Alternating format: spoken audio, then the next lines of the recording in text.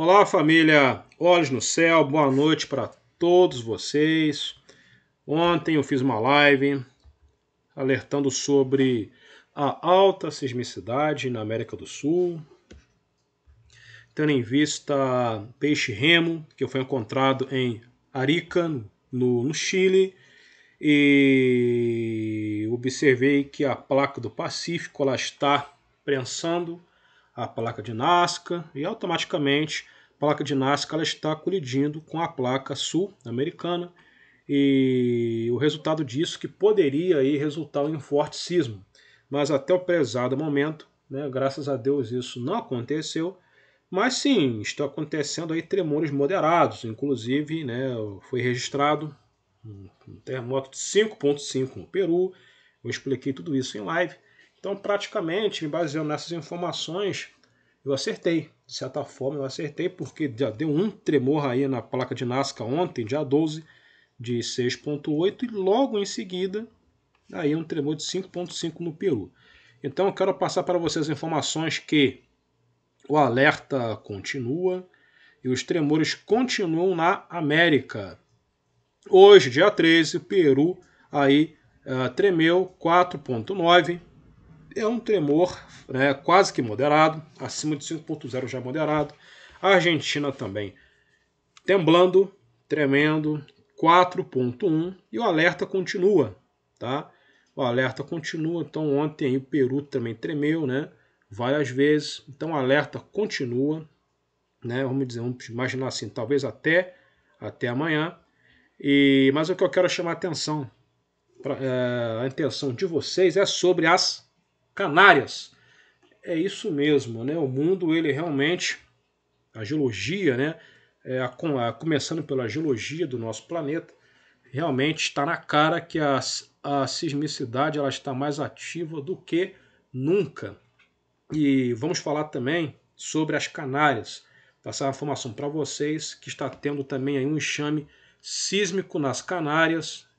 Eu vou explicar o que está acontecendo lá. Parece que os espanhóis é, estão um pouco até tensos. Vamos conversar sobre isso no decorrer do vídeo mas primeiro estou aí esclarecendo a situação da nossa América, de que ainda né, há perigo de é, resultar em um forte sismo no Peru ou no Chile nos próximos dias, tá? É, então, alerta máximo, não fiquem preocupados, não é? Mas só para ficar todo mundo aí de QAP, quem nos acompanha, que mora aí os irmãos que nos acompanham, acompanham meu trabalho, que fiquem atentos aí na, nos próximos nos próximos dias. De qualquer forma, sim, está acontecendo aí fortes tremores, mas pode ser que dê um de seis, tá ok? É, pegando o gancho, observem a quantidade de tremores na Califórnia, né? Chega a ser assustador, meus amados. Chega a ser realmente assustador. Claro, a placa do Pacífico, ela, ela se movendo em direção à América, Claro que não vai só pressionar né, a placa de Nazca, mas pressiona também a placa norte-americana. Então observem também a lógica dos meus estudos, que é, aumentou drasticamente aí os tremores nos Estados Unidos, ali na Califórnia principalmente, né, ali muitos tremores. Eu brinco, chamo que falo que os Estados Unidos parece a galinha pintadinha, cheio de bolotinhas nessa nessa região, não é? e até mesmo um terremoto aqui fora de falha, né? Terremoto aí de 5.2, né? Estranho, bem na Groenlândia. Na África também um tremor no meio da placa, em Zâmbia, 4.6. Isso é um tremor típico de separação de continente, pessoal, para vocês verem que uma coisa está bem séria. A África está rachando no meio, isso aí é científico. Então esse tremor em Zâmbia é um tremor aí típico de separação de placa. Tá? Isso aí é uma confirmação geológica. Até pretendo fazer a live sobre isso. Embora que a Globo, a SBT, a Band, Record, não é? as TVs brasileiras talvez as TVs do mundo não noticiam, não só do Brasil, mas do mundo, não noticiam sobre isso. Mas a África ela está se dividindo ao meio em pouco tempo, para vocês verem como que a situação está. Se não fosse o canal Olhos no Céu, vocês não saberiam disso. Outra coisa, onda de calor extrema em Portugal Onda de calor, Portugal em alerta vermelho e risco máximo de incêndio. É isso mesmo, estamos falando aí de temperaturas absurdas, temperaturas infernais em países europeus. Mas tudo bem, não está acontecendo absolutamente nada, está tudo, tudo, tudo, tudo muito normal. Agora vamos para, para as Canárias, foi compartilhado no nosso grupo Olhos no Céu, né? Essa informação, eu achei uma informação muito importante. De acordo com o Instituto Vulcanológico das Canárias, atualização informativa sobre enxame sísmico. Tá, vou resumir aqui para vocês. Então está tendo um enxame sísmico é, é registrado pela Invocan, que é o Instituto Vulcanológico das Canárias. Então teve mais de 630 eventos, 630 terremotos com profundidade de, 12, de 9 a 12 quilômetros, né? ou seja, razoavelmente, razoavelmente raro. Enfim, então, vemos aqui fotos, aí a quantidade de tremores. Então, estou resumindo para vocês, na matéria foi dito que esses tremores, esses bolo, essas bolotinhas pretas, são tremores até do ano passado, tá? na época que o Cumbre Vieira entrou em erupção, não é? Mas, recentemente, um alerta aí, está tendo mais tremores, tremores recentes. Essas bolotinhas vermelhas são tremores recentes e essas bolotinhas pretas são tremores passados. Então, isso mesmo, alta sismicidade na ilha de La Palma. Pode ser que o vulcão Cumbre Vieja ou outro vulcão entre em erupção, não é? Então aí fica a pergunta no ar. Vamos ficar de olhos. Pode ser que não, é uma ilha vulcânica ativa, são tremor, pode ser tremores comuns. Mas o que eu acho esquisito, porque o Cumbre Vieja ficou explodindo aí, não é? Por vários dias. Então essa energia toda já era para ter sido descarregada. É isso que está me chamando a atenção. Então, nota-se que a energia ainda está muito intensa na ilha de La Palma, tá? Açores. Os Açores, não sei como a situação está, mas é bom eu conferir também então vou fazer um vídeo sobre os Açores.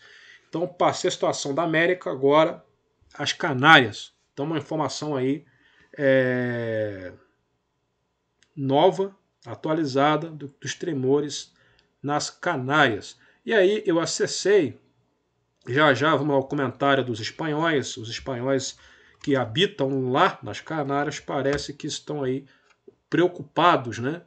Já já vamos ao relato deles né, o que eles estão comentando, que eu acho importante também o comentário das pessoas.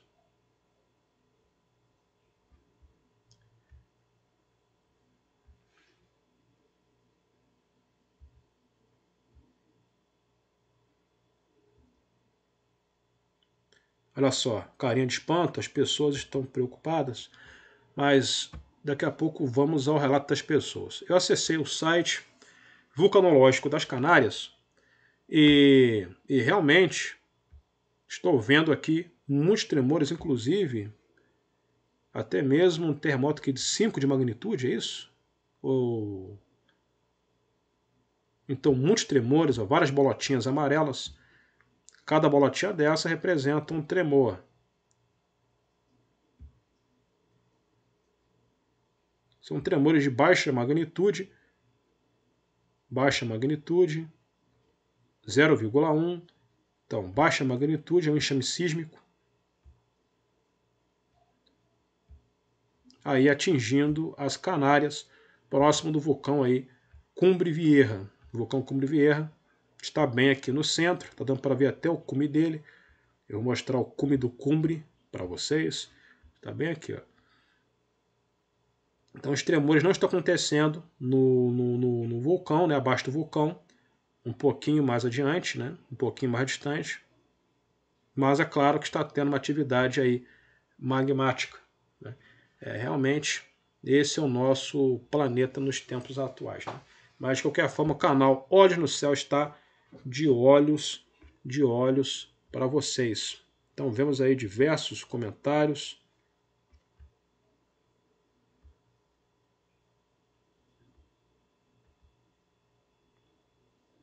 Cento, olha só, 404 partilhas, hein? 155 comentários. E as pessoas estão reclamando do Instituto Vulcanológico. Então, aqui está dizendo que, as pessoas, que seria conveniente se as informações fossem um pouco mais didáticas e todos as entenderiam melhor e criariam menos alarme com isso. Ou seja, então está dizendo aqui né, o, o, o Walter que o Instituto Vulcanológico precisa usar uma linguagem mais coloquial. É o mesmo tipo de linguagem que usa aqui no canal, uma linguagem popular, uma linguagem aí que todo mundo entenda.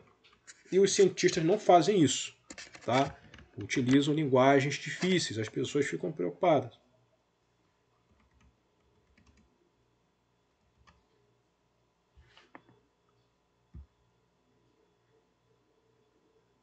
Dizem que há deslocamentos na área do vulcão de Arafo. Olha só, então já tem muitos rumores. Então as pessoas perguntando se tem perigo.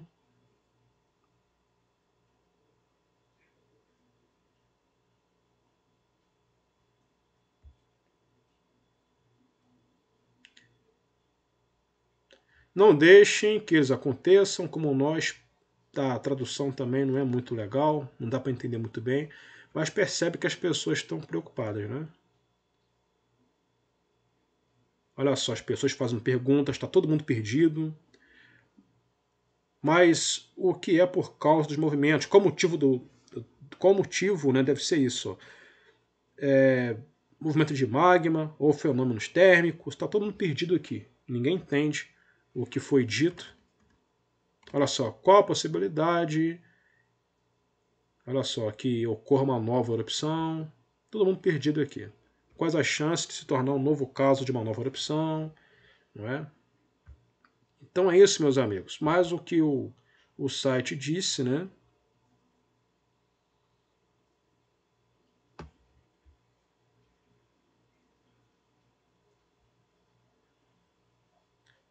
Então, parece que não foi dito o motivo desses tremores, porque tem que ter um motivo, né? Desses tremores. Olha, estou lendo aqui o motivo. Invocan disse que o motivo desses tremores nas Canárias, o enxame de hoje não implica em probabilidade de erupção. Tá. Mas lembra-nos que Tenerife continua a ser uma ilha vulcânica ativa Olha só, então você fica na dúvida. Eles estão dizendo também que isso é um movimento de fluidos como vapor de gás ou água dentro do sistema hidrotermal do vulcão Teide, porque aquela ilha possui vários vulcões, tá? Não é só o Cumbre Vieira. Então, meus amigos, tá esquisito isso daí. Então vamos ficar de olhos e as pessoas aí não estão engolindo. As pessoas estão muito preocupadas, lembrando que muitas pessoas perderam aí muitas casas por causa do vulcão Cumbre Vieira, tá? Mas aí, passando as informações para vocês, então eles disseram que tem a ver com movimentação de gás e água termal ali, resultando, né, pressão, impressão, vamos dizer assim, uma pressão bem naquela ilha. Olha, depois que o Cumbre Vieja entrou em erupção e as pessoas mal foram evacuadas, eu fico com o pé atrás, não é? Então, meus amigos, qualquer outra informação é, colocarei aqui no, no ar para vocês. Tá ok? Agradeço aí a todos pela presença, inscreva-se em nosso canal. Outra coisa, é, conheçam também nosso canal Conexão UFO Brasil. Eu abordo também assuntos ufológicos. O link do nosso canal, nosso, do meu segundo canal Conexão UFO Brasil, está aqui nas descrições, tá bem? Então, quem gosta do tema UFO, né, inscreva-se em nosso, em nosso canal. Até mais, até a próxima.